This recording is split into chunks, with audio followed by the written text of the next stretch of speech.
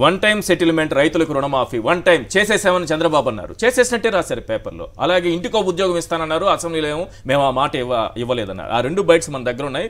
సమయం దొరికితే మనం అవి కూడా ప్లే చేస్తాం. దాన్ని ఆ రోజు గొప్పగా ప్రచురించుకున్నారు వీళ్ళు చంద్రబాబు చెప్పినటువంటి మాటల్ని. కానీ చేయలేకపోయిన అంశాలని కూడా మేము చేయలేకపోయాం ఈ కారణాలతో అని కూడా చెప్పినటువంటి పరిస్థితులు ఈ రోజు కనిపిస్తున్నాయి.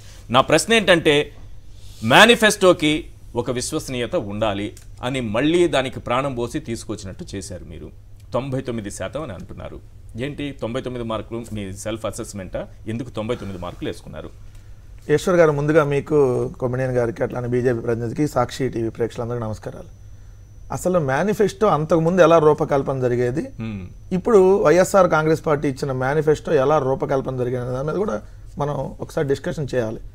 ఎందుకంటే అనేక రాజకీయ పార్టీలు మేనిఫెస్టోలు అంటే ఎలా తయారు చేస్తాయంటే ఇప్పుడున్న ప్రభుత్వం ఏమి ఇచ్చింది? హ్మ్. పక్క రాష్ట్రాల్లో వాళ్ళు ఏమి ఇస్తున్నారు? దీన్ని మనం చూసి ఒక పది మందో పదిహేను మందో వాళ్ళ పొలిట్ బ్యూరో మెంబర్లో లేకపోతే మేనిఫెస్టో కమిటీ అని వేసుకొని వాళ్ళందరూ కూర్చొని ఏసీ గదుల్లో కూర్చొని మేనిఫెస్టోని రూపొందించినటువంటి చరిత్రలు మనం అంతకుముందు చూసాం. But first time in Indian history మూడు వేల ఆరు వందల నలభై ఎనిమిది కిలోమీటర్ల పాదయాత్రలో ఆ ప్రజల కష్టాలని ఆ ప్రజల పడుతున్నటువంటి బాధల్ని స్వయంగా తెలుసుకొని వాళ్ళ దగ్గర నుంచి తీసుకున్నటువంటి అర్జీలన్నింటినీ క్రోడీకరించి మనం అధికారంలోకి వస్తే ఆ పేదరికాన్ని ఎలా పోగొట్టగలుగుతాం ఏదైతే ఆ పేదలు పడుతున్నటువంటి ఇబ్బందులను ఎలా తీర్చగలుగుతాం అనేటటువంటి ఆ పేదల నుంచి వచ్చినటువంటి అర్జీలను తీసుకొని ఒక మేనిఫెస్టో రూపొందించింది వైఎస్ఆర్ కాంగ్రెస్ పార్టీ. అదే రెండు వేల పంతొమ్మిది వైఎస్ఆర్ కాంగ్రెస్ పార్టీ ప్రజా మేనిఫెస్టో. అంటే ఏసీ గదుల్లో కూర్చొని రూపొందించింది కాదు. ఓకే. జగన్మోహన్ రెడ్డి గారు ప్రతి ఊరు వెళ్ళి ఆ ప్రజల కష్టాలను డైరెక్ట్గా తెలుసుకొని రూపొందించినటువంటి మేనిఫెస్టో చంద్రబాబు కూడా దానికి ముందు పాదయాత్ర చేసే కదా మేనిఫెస్టో రూపొందించారు. చిత్తశుద్ధి లేని నాయకుడి గురించి మనం డిస్కస్ చేయడం టైం వేస్తారు మనం చేసిన మంచిని మనం చెప్పుకుంటా వెళ్దాం. చంద్రబాబు నాయుడు గురించి మనం ఎంత చెప్పినా కూడా కుక్కతో ఒక వంకర అన్నాడు. మనం ఎంత తిప్పినా కూడా అవన్నీ కూడా తిరగదు. వంకర తిరగదు కాబట్టి దాని గురించి డిస్కషన్ అవుతుంది సో మూడు వేల ఆరు వందల నలభై ఎనిమిది కిలోమీటర్ల పాదయాత్రతో ఏర్పడినటువంటి మేనిఫెస్టో సో ఈ మేనిఫెస్టోని జగన్మోహన్ రెడ్డి గారు ఏదైతే ప్రమాణ స్వీకారం చేసిన రోజు. ముప్పై మే రెండు వేల పంతొమ్మిది మధ్యాహ్నం పన్నెండు గంటల ఇరవై మూడు నిమిషాలకి ఆయన ఒకటే చెప్పారు. నేను ఒక స్వచ్ఛమైన పరిపాలన అందిస్తా.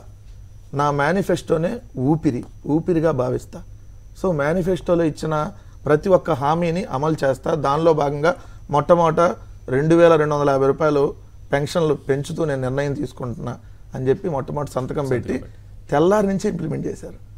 ఏది? మే ముప్పై ప్రమాణ స్వీకారం జూన్ ఒకటి నుంచే రెండు వేల రెండు వందల యాభై రూపాయలు పెన్షన్ అనేది ఇచ్చేటటువంటి కార్యక్రమం. ఆ రోజు ఆంధ్రప్రదేశ్ రాష్ట్ర ఖజానాలో ఉన్న డబ్బులు కేవలం వంద కోట్ల రూపాయలు. ఇదే మీరు చెప్తున్నటువంటి ఆ ఈనాడు అనేటటువంటి ఏదైతే మోసాల నాడు పత్రిక రాసింది వంద కోట్ల డబ్బులు ఉన్నాయి. తెల్లారితే శాలరీలు ఇవ్వాలి తెల్లారితే పెన్షన్లు ఇవ్వాలి. ఎట్టా పరిపాలిస్తాడో చూద్దాం అని రాశారు సార్. అదే మాజీ ఆర్థిక మంత్రిగా చేసినటువంటి యనమల రామకృష్ణుడు మేము చేయాల్సిన దానికంటే అప్పులు ఎక్కువ చేసాం జగన్మోహన్ రెడ్డి గారి ప్రభుత్వానికి అప్పులు కూడా ఇంకెవరు? ఆల్రెడీ చేశారండి. ఎక్స్ట్రా చేస్తేనే చేశారు. ఇంకా పైన కూడా. చెప్తే. ప్రతి నెల దాదాపుగా ఈ నాలుగు సంవత్సరాల్లో ప్రతి నెల జీతాలు ఎవరని చెప్పి మా మీద దుష్ప్రచారం చేసినా ఏ రోజు జీతాలు కట్ చేయాల. ఒక రోజు రెండో తారీఖు మూడో తారీఖు వచ్చిన రోజులు ఉండుండొచ్చు అప్పుడప్పుడు. కరోనా లాంటి సమయంలో మిగిలిన రాష్ట్రాల్లో ఫిఫ్టీ పర్సెంట్ కట్ చేశారు. బట్ ఆంధ్రప్రదేశ్లో ఏ నెల కూడా ఉద్యోగస్తులకు జీతాలు కట్ చేయాల. ఏదైతే ఫుల్ జీతాలు ప్రతి నెల ఇస్తూ అదనంగా రెండు లక్షల మందికి ఇచ్చాం. అదనంగా ప్రభుత్వంలోకి రెండు లక్షల మందిని తీసుకొని మరి ఇచ్చాం. అంటే మనకి డెబ్బై ఐదేళ్ళు ఇప్పుడు స్వాతంత్రం వచ్చి. డెబ్బై ఒక్కేళ్ళగా ఆంధ్రప్రదేశ్ రాష్ట్రంలో ఉన్న ఉద్యోగుల సంఖ్య నాలుగు లక్షలు అయితే ఈ నాలుగేళ్ళు అదనంగా రెండు లక్షల ఉద్యోగాలను తీసుకొని మరి నెల నెల శాలరీలు ఇస్తా వెళ్ళాం. సో ఎక్కడ ఇచ్చినటువంటి హామీని? నార్మల్గా అయితే ఈ మేనిఫెస్టో అంటే ఇది విలువలు విశ్వసనీయత కలిగిన మేనిఫెస్టో. నేను విన్నాను నేను ఉన్నాను నేను చేశాను నేను చేసుకుంటా వెళ్తాను. ఇది మా ట్యాగ్ లైన్ ఇది ఇంకో మేనిఫెస్టో చూపిస్తాను మీకు. ఇది మోసగాడి మేనిఫెస్టో రెండు వేల పద్నాలుగు తెలుగుదేశం మేనిఫెస్టో పట్టుకోవడానికి చాలా బరువుగా ఉంది సార్. అంత మేనిఫెస్టో ఇచ్చారు. ఇచ్చి గారి పేపర్ ఇచ్చేసారు ఇదే మొత్తం దీంట్లో-. అక్కడేమో అంత పెద్ద బుక్ కాదండి ఇది మేనిఫెస్టోలో ఏం చెప్పారంటే రైతు రుణాలు మాఫీ చేస్తాం డ్వాక్రా రుణాలు మాఫీ చేస్తాం ఇవన్నీ చెప్పి మేనిఫెస్టోని మాఫీ చేశారు. మేనిఫెస్టోని మాఫీ చేశారు. ఏది? వాళ్ళు ఏం చెప్పింది? రైతులకు రుణాలు మాఫీ చేస్తామని మేనిఫెస్టోని మాఫీ చేసి మళ్ళీ ఇప్పుడు ఇంకో కొత్త మేనిఫెస్టో ఇస్తామని చెప్పి మళ్ళీ వస్తున్నటువంటి పరిస్థితి. ఇది సంక్షేమ క్యాలెండర్ సార్. నార్మల్గా మీరు ఇంగ్లీష్ క్యాలెండర్లు చూస్తారు. జనవరి నెలలో ఏం పండుగలు వస్తాయి? ఫిబ్రవరి నెలలో ఏమన్నా పండుగలు వస్తే పండుగ?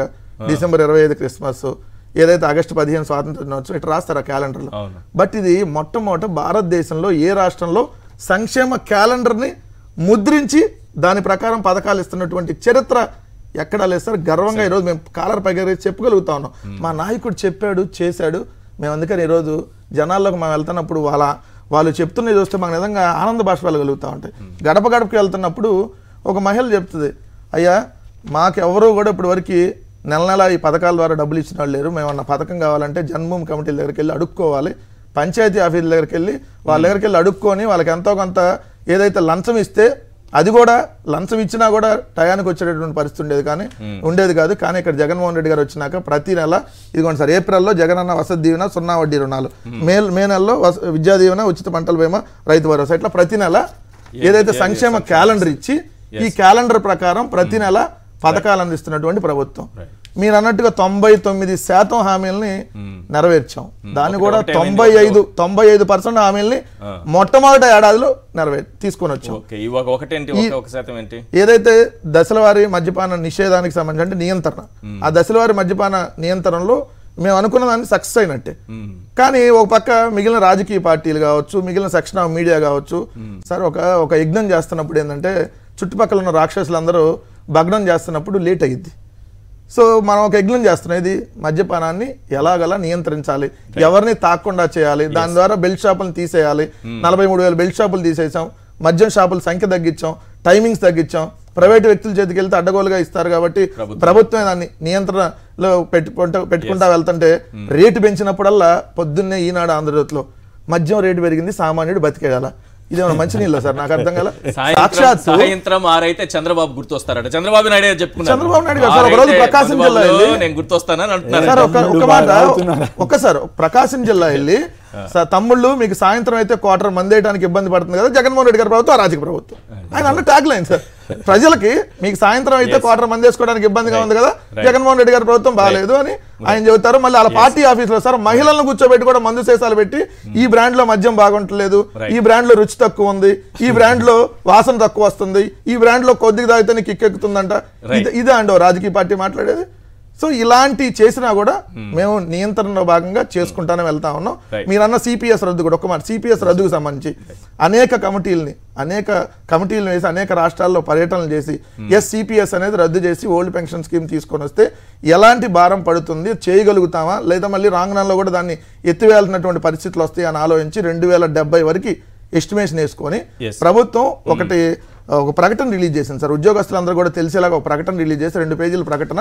ఇదిగోండి ఓల్డ్ పెన్షన్ స్కీమ్లో అయితే ఇలా అవుతుంది. జీపీఎస్ వన్ జీపీఎస్ టూ అని మీకు ఆప్షన్స్ ఇస్తున్నాం. ఏది బెటర్ ఉంటుందో మీరే నిర్ణయించుకోండి అని చెప్పి. ఇప్పుడు సిపిఎస్ను రద్దు చేసి గ్యారంటీ పెన్షన్ స్కీమ్ తీసుకొని వచ్చి దాన్ని కూడా మీ రోజు ఉద్యోగస్తులకి భరోసా కల్పించి గ్యారంటీగా పెన్షన్ వచ్చే విధానాన్ని తీసుకురావడం వల్ల ఈ రోజు ఉద్యోగస్తులందరూ కూడా హ్యాపీగా ఉన్నారు.